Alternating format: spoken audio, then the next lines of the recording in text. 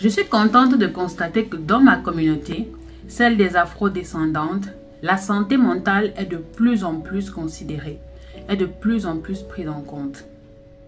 Il y a de cela plusieurs années encore, on alliait tout au mystique, à la sorcellerie, à quelque chose d'extraordinaire. En tout cas, on ne considérait pas la santé psychologique et psychique comme de vraies maladies.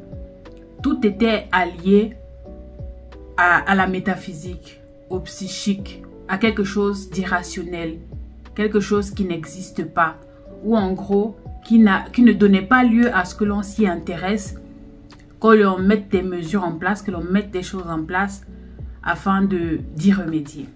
De mon constat et de mon observation, c'est avec l'immigration que les choses ont changé du tout pour le tout, ou du moins se sont améliorées. Il y a de plus en plus de personnes qui viennent en Europe, en Asie, en fait, dans les pays occidentaux, pour euh, soit étudier, ou soit pour travailler, ou soit en vacances. Et quand on arrive dans ces pays-là, on constate que les choses sont différentes. L'environnement est différent, la mentalité des personnes est différente, le système de santé est aussi différent. En tout cas, pour ceux qui sont amenés à vivre dans les pays occidentaux pour pas mal d'années, eh bien, il y a des points que vous devriez considérer. Et le système de santé ici, c'est quelque chose qui est flagrant. En comparaison avec nos pays africains, il y a un très grand fossé. Le système de santé ici est assez structuré et euh, vous pouvez être sûr que si vous êtes malade, vous allez être pris en charge comme il se doit. Également, avec l'avènement des réseaux sociaux, on remarque qu'il y a de plus en plus de présence de corps médical sur le web. On a des psychologues, des cardiologues, des, des, orthopédistes, des dentistes. Euh, il y a également beaucoup, n'est-ce pas, de professionnels de la santé qui sont sur les réseaux sociaux, qui font des vidéos, qui parlent de leur métier, qui expliquent des choses. Et cela a tendance à résonner chez certaines personnes au point où celles-ci se posent des questions si bel et bien elles n'ont pas besoin d'être aidées. Parce que parfois on se retrouve dans une certaine situation, on vit avec parce que c'est devenu comme une seconde nature, mais on ne se rend pas compte qu'en fait c'est la résultante de traumatisme, c'est la résultante euh, d'un mal-être donc, plus on a accès à l'information et plus comme ça les consciences s'éveillent et on se rend compte qu'en effet, il y a des choses qui doivent être faites. Et c'est sans citer les coachs en développement personnel, les coachs en PNL, euh, les executive coach et, compagnie. Définitivement, de nos jours, la santé mentale n'est plus un sujet tabou. On en parle de plus en plus aisément. Euh, des personnes même qui se qui, racontent leur, ce qu'elles ont pu vivre.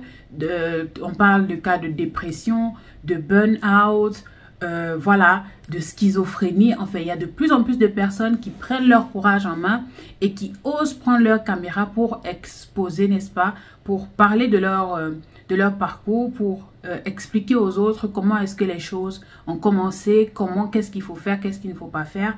Et du coup, de plus en plus de personnes prennent conscience du fait que je dois prendre soin de ma santé mentale. Et ça, c'est très bien parce que particulièrement nous, les afro-descendants, on a cette fâcheuse euh, tendance de dire que non, euh, la santé mentale, c'est littéralement chez nous, ce n'est pas un sujet sur lequel il faut s'attarder. Ce n'est même pas quelque chose qui euh, nécessite de l'attention ou qu'on s'y attarde et puis que l'on débatte là-dessus. Voilà. on a déjà que notre génétique est assez séquelé. Voilà, il y a quand même euh, beaucoup de choses qui se sont passées. Je ne vous apprends rien du tout. Et que l'on le veut ou non, cela reste dans nos, dans nos gènes. Et même dans nos familles, on a des gènes, des choses générationnelles. Et on a des gènes générationnels dont on hérite de nos parents, euh, des traumatismes, des expériences, voire même des malédictions. En tout cas, des choses que l'on hérite de nos familles aussi et qui d'une manière ou d'une autre viennent impacter sur notre vie, sur notre évolution, sur notre comportement, sur notre façon de réfléchir, de réagir, d'aborder les situations. En tout cas, notre patrimoine génétique d'une manière ou d'une autre nous définit. Ajoutez à ça notre mode de vie, les personnes que l'on côtoie, les expériences de vie que l'on fait nous-mêmes. On, se construit en quelque sorte euh, un second patrimoine génétique à assimiler à ce que l'on a hérité de nos parents, de nos grands-parents, de nos arrière-parents, de nos ancêtres. Cela constitue l'être humain que nous sommes. Et en fonction des sociétés dans lesquelles on va vivre, en fonction du mode de vie et des personnes avec lesquelles on sera appelé à interagir, les choses ne vont pas toujours se passer comme l'on désire. Et ce qui fait que il y a des personnes qui peuvent se retrouver écorchées, blessées, et au point où elles n'en puissent plus, au point où elles perdent la tête, comme on dit. C'est là qu'on va observer des cas de dépression, des cas de burn-out, on ici, certaines personnes parlent de dépendance affective. Il y a certaines personnes qui vont développer, euh, développer des comportements agressifs. Euh, on parle ici euh, de violence conjugale, par exemple, ou alors d'abus sur des mineurs, sur des enfants, des choses comme ça. La plupart du temps, c'est la résultante de traumatisme. C'est la résultante d'un état mental dépéri. Donc, c'est très important de considérer ces choses-là. Ce qui fait que de plus en plus de personnes, notamment les afrodescendants, pensent à aller consulter, pensent à se faire accompagner par des, psychologues, par des psychothérapeutes, que vous voulez, chose que je trouve excellent. Mais je tiens néanmoins à revenir sur le titre de ma vidéo. Les psychologues ne vous sauveront pas.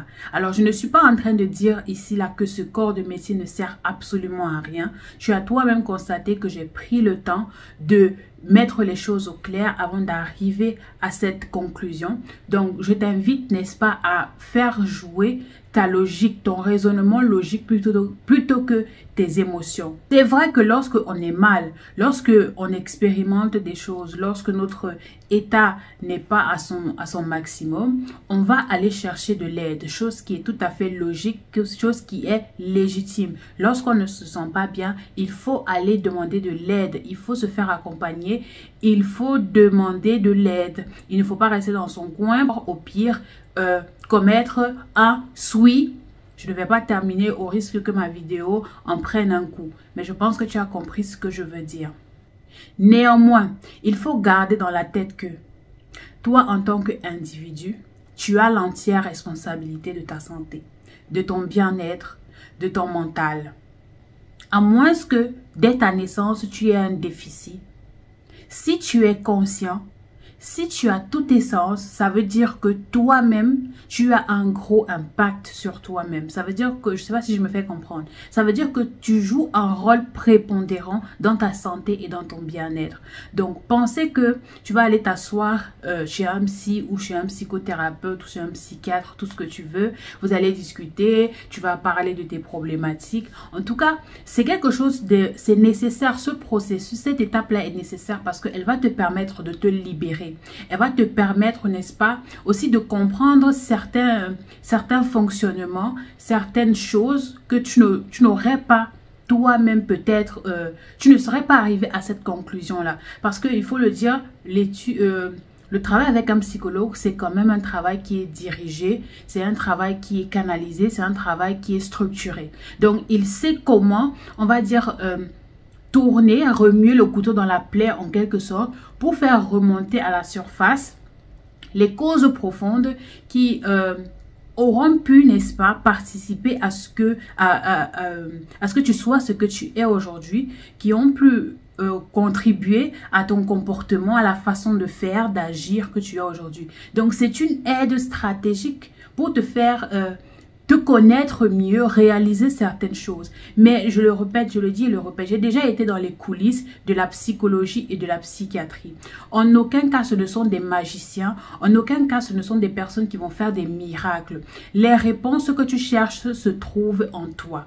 Parce que même ce psychologue à qui tu vas aller parler, expliquer tes problématiques et qui éventuellement va te faire des propositions, elle peut te faire des propositions, mais elle n'est pas toi. Elle n'est pas dans ton corps, elle n'est pas dans ton organisme, elle ne vit pas ta vie, elle ne sait pas, elle ne peut pas réellement savoir ce que tu ressens. Malgré toute l'empathie, toute l'implication qu'elle va mettre dans le processus, tu es la seule et unique personne qui a l'entière capacité de ressentir intensément ce que tu vis. Donc, il faut garder à l'esprit que ça reste, cela reste une aide, une aide supplémentaire. Mais toi également, à ton niveau, tu dois faire le travail afin de ne pas sombrer dans les antidépresseurs. Parce que même là encore, en ce qui concerne les psychologues et psychanalystes, et, etc., il faut trouver le bon.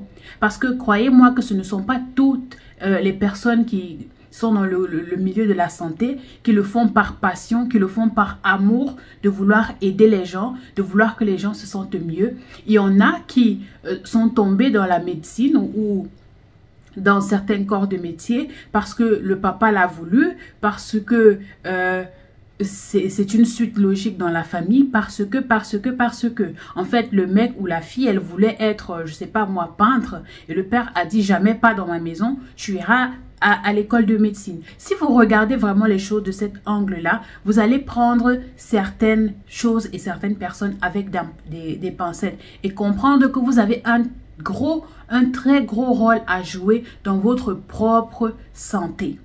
Donc, ne vous abandonnez pas, d'accord? Ne laissez pas totalement gardez toujours un œil ouvert parce que au pire des cas, vous allez sombrer dans les, antidépresseurs et d'autres choses d'ailleurs pas très commodes qui, vont, qui vont vous être prescrits par exemple pour que vous puissiez mieux dormir, pour que vous arrêtez d'avoir des crises. Moi, je pense que tout le monde le sait, la Big Pharma, elle est juste là pour se faire du blé en fait. Donc, elle n'est pas là pour, euh, euh, voilà, elle n'est pas elle n'a pas forcément cette optique-là que tout le monde guérisse, tout le monde se sente bien, sinon, euh, voilà, elle ne va plus gagner d'argent. Donc, il faut comprendre que tout ce qui est aussi médicaments et etc., plus tu en prends, plus tu, tu seras dépendant. Tu risques d'être dépendant de cela et en tout cas sur le long terme, cela ne va pas ne va pas t'aider. Donc il faut trouver, il faut pouvoir trouver des solutions en toi-même. Ça reste une aide à Fais le ménage dans ta vie. Accompagne-toi des personnes. Je veux dire, fais le travail sur toi